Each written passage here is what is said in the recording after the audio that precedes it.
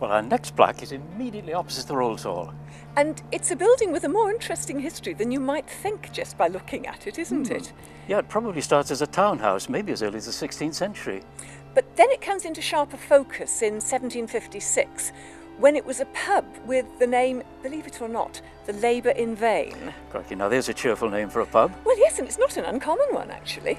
Well, whatever they called it, it must have been well fitted out because it had a malt house and stables. So, upmarket. Yeah. And it also seems to have had quite a good reputation, doesn't it?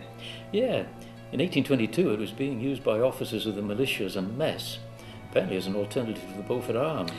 And that was about the time that it began to be used as lodgings for the judges of the Monmouth Assizes, which were held in the Shire Hall.